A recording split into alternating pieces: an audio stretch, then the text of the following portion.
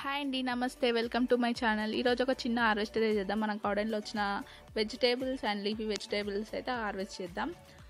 So ఈరోజు ఇక్కడ అయితే నేను సొరకాయని అయితే హార్వెస్ట్ చేస్తున్నాను. ఈ సొరకాయ పొట్టి వెరైటీ. సో అంతే ఉంటుంది. నెక్స్ట్ వచ్చేసి చుక్కకూర హార్వెస్ట్ చేస్తున్నాను. ఇలా పైన కట్ చేయడం వల్ల నెక్స్ట్ కూడా మనం హార్వెస్ట్ చేసుకోవచ్చు. సో ఇదొక టిప్ అనమాట మీకు. డైరెక్ట్ రూట్స్కి నుంచి తీయకుండా ఇలా పైన పైన కట్ చేసుకుంటే మళ్ళీ వస్తుంది. మళ్ళీ ఒకసారికి అయితే మనం ఆర్డర్ చేసుకోవచ్చు. ఇది వచ్చేసి తీగ బచ్చలి సో తీగ బచ్చలి కూడా చాలా టేస్టీగా ఉంటుంది కదా. నేను రోజు తీగ బచ్చలి హార్వెస్ట్ చేస్తున్నాను మొద్దు బచ్చలి హార్వెస్ట్ చేయట్లేదు. ఎందుకంటే తీగ బచ్చలి సరిపోతుంది మా ఫ్యామిలీకి. చూడండి ఎంత పెద్ద పెద్ద ఆకులు ఉన్నాయో.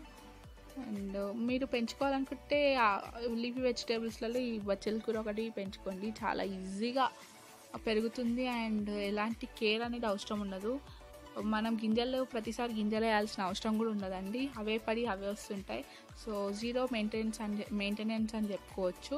ఈ బచ్చలి అయితే ఇది వచ్చేసి మొద్దు బచ్చలి అండి. చెట్టు బచ్చలి అంటాం కదా అది. సో దీనికి కూడా ఎక్కువ మెయింటెనింగ్ అవసరం మెయింటెనెన్స్ అవసరం లేదు. టబ్ నిండా అయితే ఉంది. హార్వెస్ట్ అయితే చేయలేదు. చూడండి ఎంత బాగుంది. ఈరోజు ఆరు చేసుకున్న